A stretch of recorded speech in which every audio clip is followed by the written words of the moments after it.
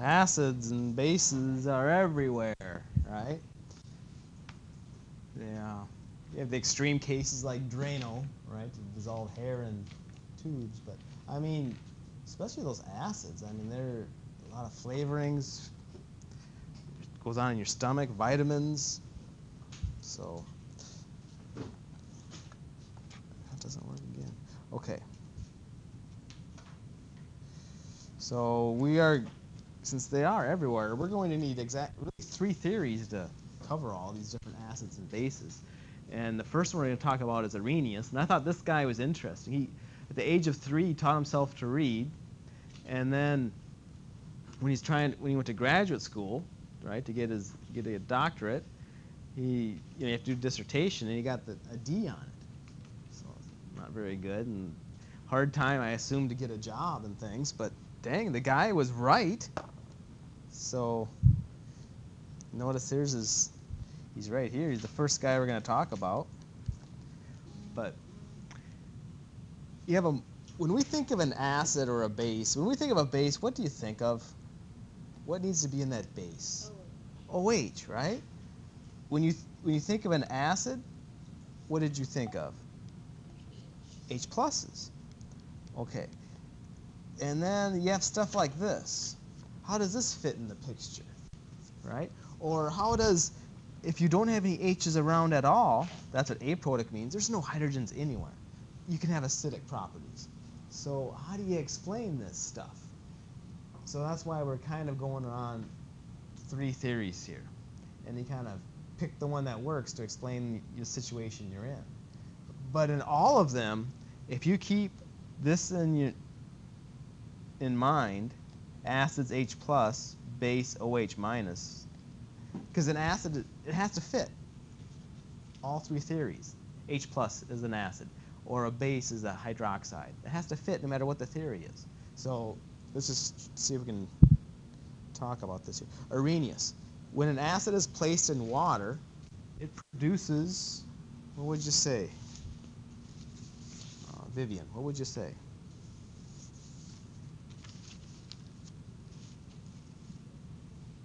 Well, remember acids and think of acids and H plus. So if it's going to be an acid, put it in water, it's going to produce a lot of H pluses. Right. So just kind of think of, keep this in the back of your mind, these two. When a, Arrhenius said when a base is put in water, it's going to produce a lot of what, Sabina?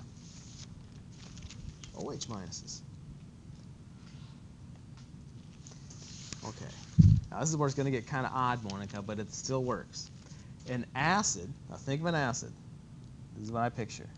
H plus is a species that accepts or donates electrons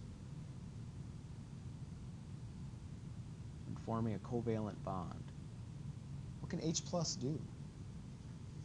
H plus can only accept electrons. It already gave them up, right? So that's how I kind of remember this. Keep them straight.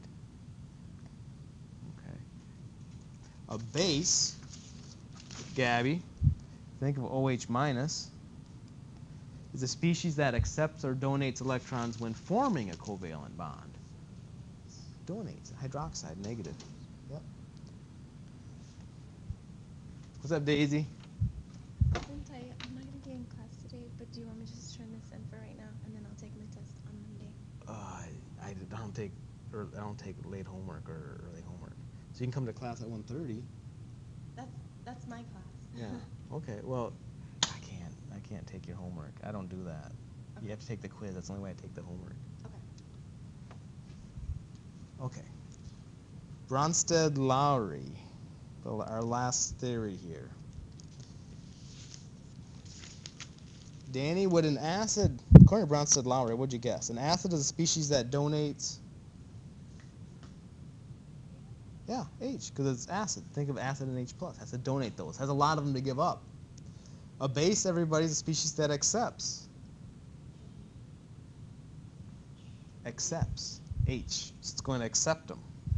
So a base is going to something that will suck up, will react with the acid. React, suck up the H+, plus, take it in. Acid is something that donates, gives up H pluses. So Bronsted Lowry is all about just the, the H pluses. Either you're going to donate an H plus or you're going to accept an H plus. And there's going to be a lot of homework on this. According to Bronsted Lowry, blank acid base pairs differ by the presence of one proton. So they're trying to name this stuff. You have two compounds, all they do is differ by one H plus. They're going to call them what? Anybody know? Conjugates. Yep. They're called conjugates. Okay. So we'll spend most of the day at the boards today, but we'll just get you started here. Identify the conjugate acid-base pairs in the below acid-base reactions. So these are acid-base reactions here. F minus has a conjugate something on the product side. Probably have to be on the product side have to be HF. Well, that means these two must be conjugates too then. But how do you recognize what's what here? F minus and HF. Which one's the acid? HF. Yeah, it's got the H on it. And what's its conjugate base? It's going to be right? Conjugate acid HF, conjugate base F minus. Right? So these two are notice how they're it's not just F. You had to lose an H plus. So it's F minus. Right? Think of it as H plus. We don't write them this way. Right? HF equals that, but if you lose this, all that's left is F minus. Okay. Likewise with H2O and H3O plus, which is the conjugate acid? H3, because that you can tell just because it has more hydrogens. So this has to be the acid. This has to be the conjugate base. So do you recognize how the acid went from H3O plus to H2O? You lost an H, but you have to lose an H plus, not just an H. That's why H3O plus went to H2O. So pretty much subtract one from the charge. Right? So notice too how if this if you identify this as a base, this has to be an acid. If you identify one on this side, this is a base, well that guy has to be an acid because bases react with acids. If you identify one of these as a base, well that means this one has to be an acid. His conjugate has to be in it. See how it's all figured out once you figure out one of these. So it's, it's not too bad. So let's go to the boards and we'll wrap this up today. Won't be too bad. So just do the next one. Identify the conjugate acid-base pairs in B.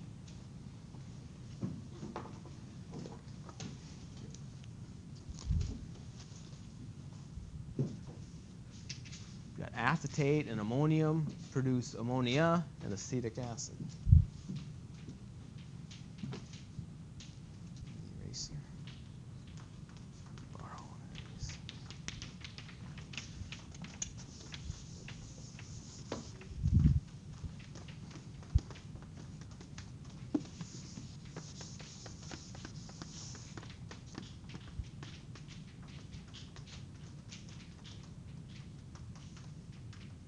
And Don't let me forget, at the end of the hour, we're going to hand back the exams.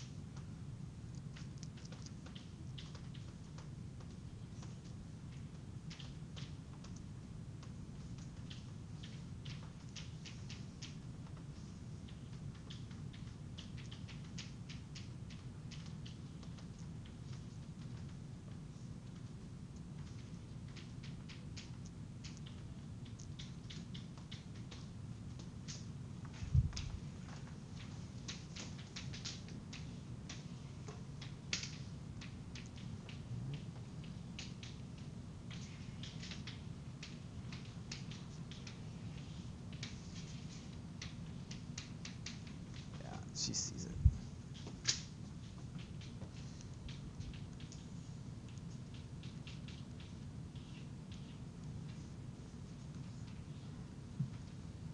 I think everybody pretty much agrees, right?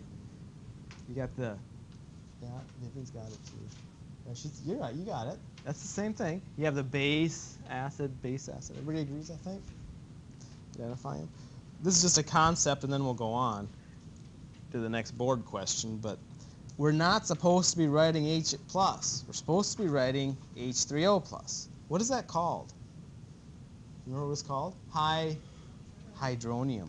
And but that's a, like a lot of work, and we're not going to. We're, we're going to keep writing H plus all the time. But how do you generate H3O plus? If you have a hydrogen in a reaction, oh, don't write H plus, supposed to write H3O plus. Pretty much all you do is add water to both sides. Because this is H3O plus, right? You have three hydrogens and an O and a plus. So I wouldn't worry about it. It's just like sig figs. We're not even messing with sig figs anymore, right?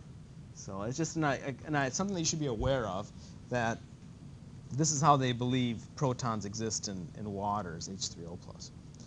Let's try this one. Write the balanced reaction of hydroxide with hydrofluoric acid to form fluoride ion and water.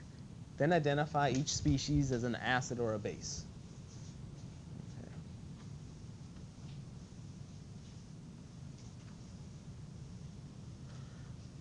Write the balanced reaction of hydroxide with hydrofluoric acid.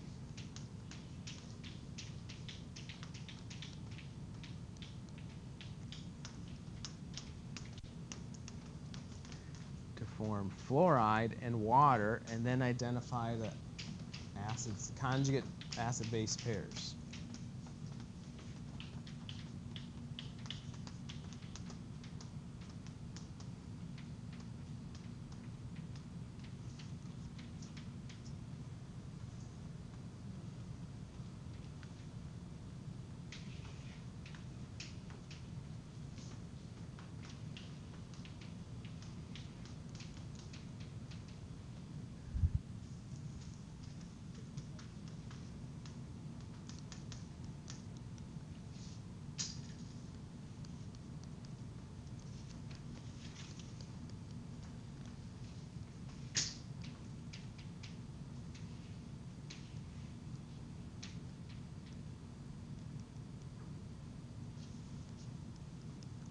Notice how once you figure out what one thing is, everything else gets fixed, right? If you call this a base, this has to be an acid.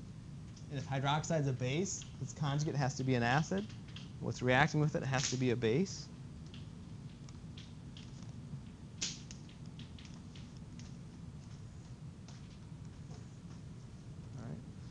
All agree? Okay, now it's going to get a little more complicated, but I think we'll get it. Give the conjugate base to each of the following species regarded as acids. So these, they're giving us the conjugate acids. All you do is write the formula, write the chemical formula of the conjugate base. Just write the chemical formula of the conjugate base. So if, if you want to write the formula of a conjugate base, what do you have to remove? H plus. Remove an H plus. Not only remove an H, but remove a positive 1 from the charge. And if it helps, go ahead and write the reaction. But report only the conjugate base as your answer,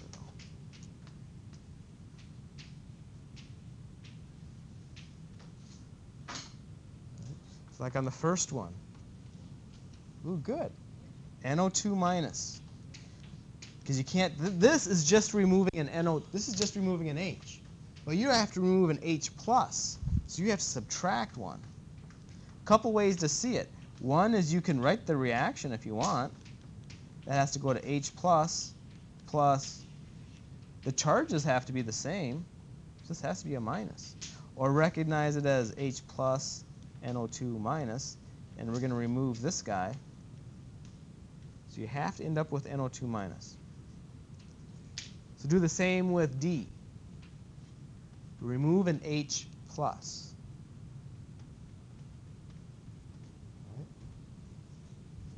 Remove an H plus. So you should, all right? How many H's will you be left with? You'll be left with one H for sure. What will be the charge on this thing? You have to remove a negative. So you so pretty much like look at this one. HNO2 went from zero to a negative one. So you added a negative one to the charge. All right? All right. One of you guys are right. You could do it this way if you want. You could write out the whole thing. That's going to make H plus plus an H ASO4. Now the charge has to be the same on both sides, right? This is a negative. So this compound has to have, be a negative.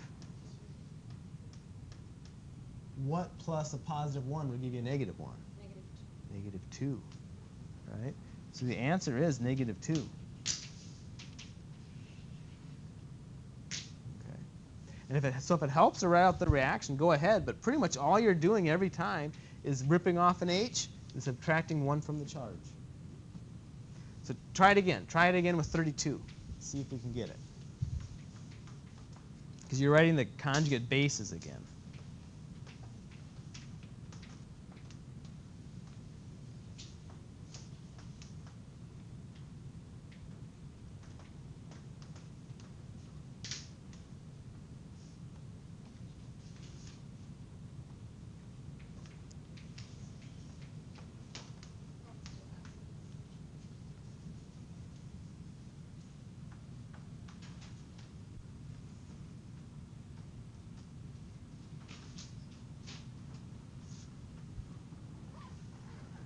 So you didn't quite finish it though, because you have to you have to remove an H. So this is right, SEO, but this is the negative.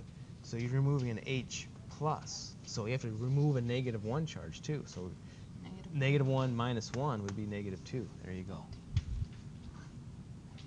So you're doing this right. I think I see a lot of it.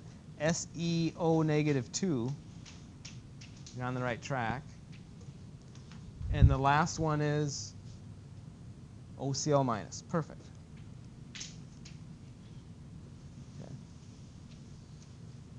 Same thing, but now we want to give the conjugate acid to these things. Give the conjugate acid.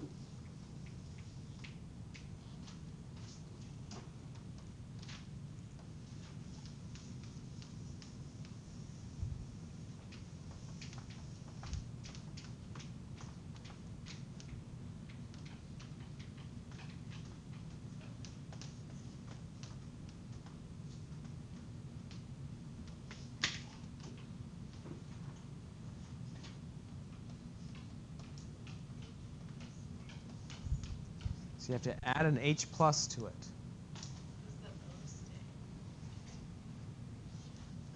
Yeah, all you're doing is adding an H, H plus.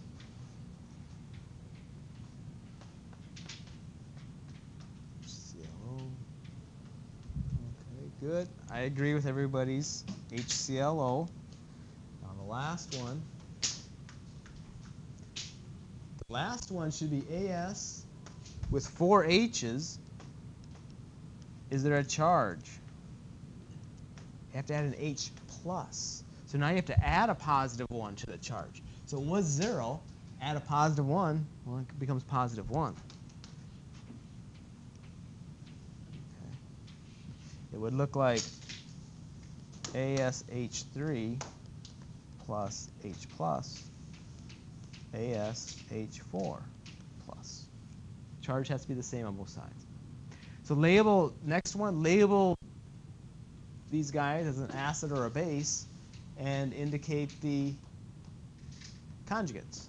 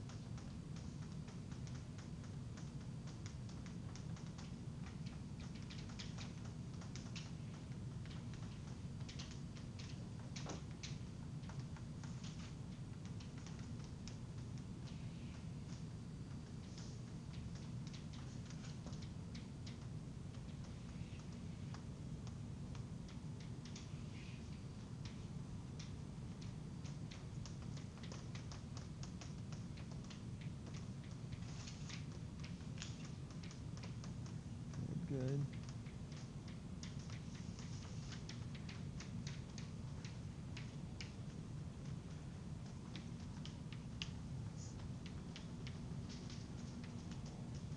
I think we made, made a mistake here.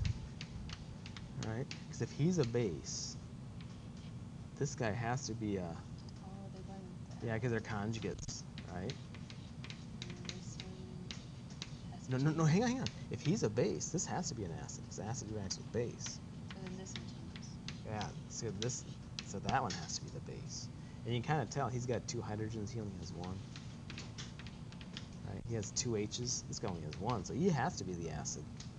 And he, again, he has more hydrogens than him, so he has to be the acid. Write that just because the H is gonna acid. Well, no, because there's H's out in front of here too. Yeah, that's why they're So you, acid. you, so you can't tell. So you have to go by which one has more H's. Okay, good. Keep going. Yep. Yep. Yep.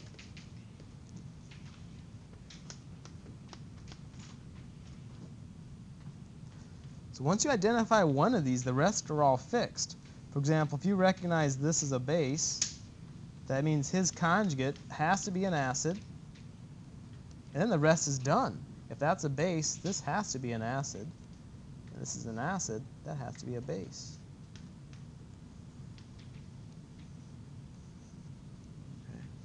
You can also tell by the number of hydrogens. The last one you recognize. There's our acid and our base. Our base and our acid. Okay?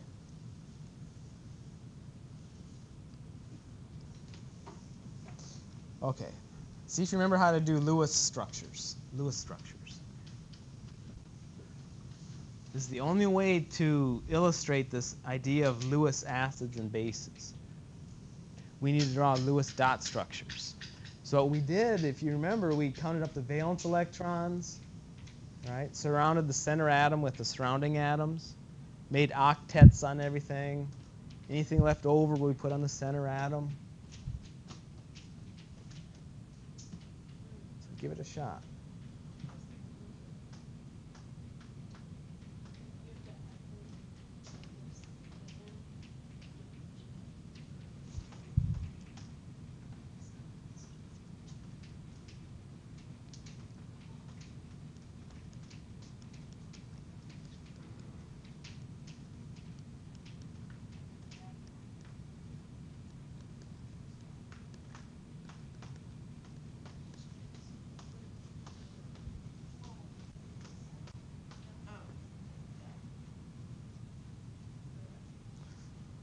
See if you remember how to do this. So BF3, boron has three valence.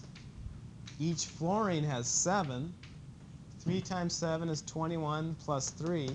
You've got 24 electrons to work with.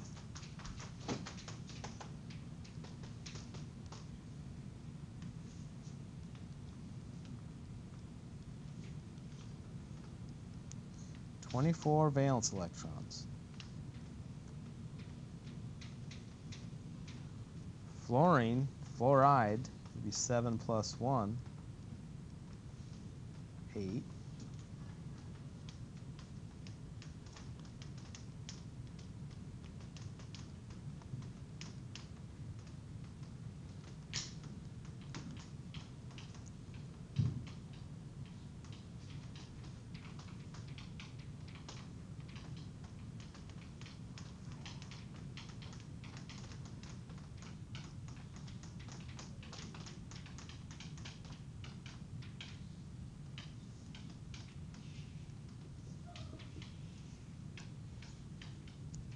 So once you get all the Lewis dot structures drawn, then we'll see if we can figure out what's a Lewis acid and what's a Lewis base.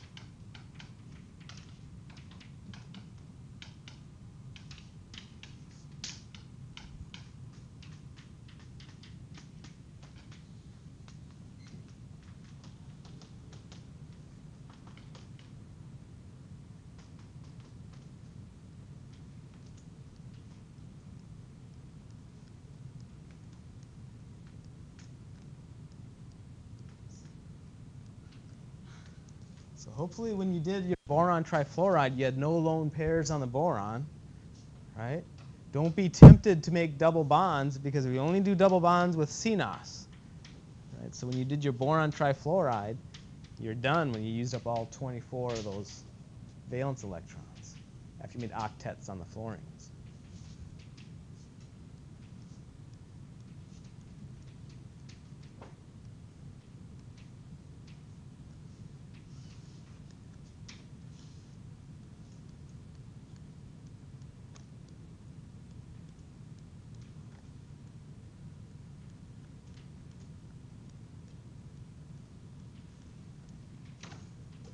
Okay. So did stuff to look like mine? No double bonds anywhere? Okay, this is the starting point. Make sure we all agree with this. Yeah. Agree? Okay. Now, if you look at these, if you all agree, look at those reactants. A Lewis base was supposed to do what with electrons? Give them up, donate them. A Lewis acid is supposed to do what with electrons? Accept them. So take a look at those two reactants and see who's doing what here to make that product.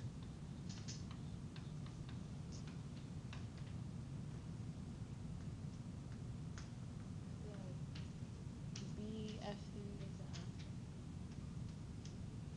Why? This fits into this rather than this into this. Oh, I see what you're saying. Yeah, okay. Yeah. He, so, yeah, this fits into this. Good. So he's the one donating the electrons. Yes. Do you, do you hear Monica's way of explaining this? Or Crystal? Sorry, Crystal. Crystal's way of explaining this? She said that the fluoride fits into the BF3. It's not the other way around, right? The BF3 didn't fit into the fluoride. So she's saying that the fluoride is donating these electrons to make that bond because he's got the electrons to donate, right? If I kind of circle them for you, let's just pick those. He's going to donate those electrons. So if the fluoride is donating the electrons, that makes the fluoride the, the base.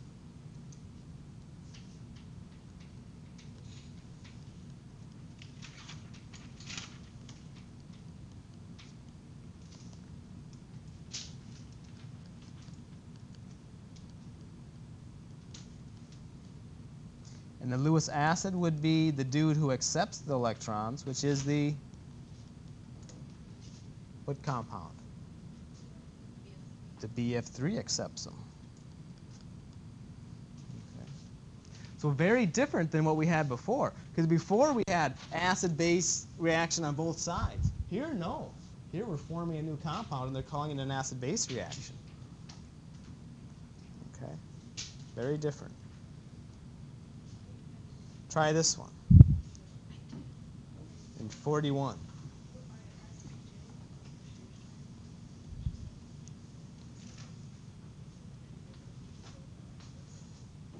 We'll do 41, then we'll call it a day.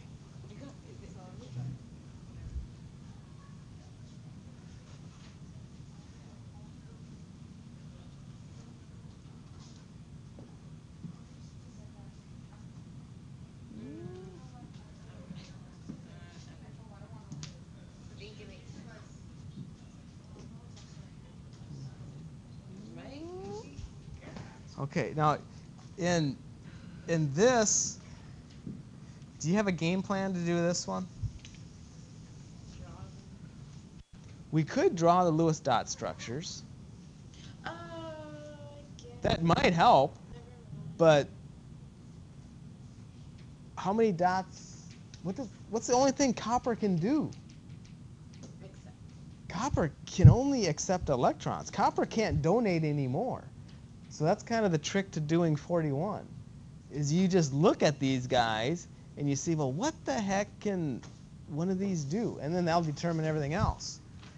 Copper can only accept electrons.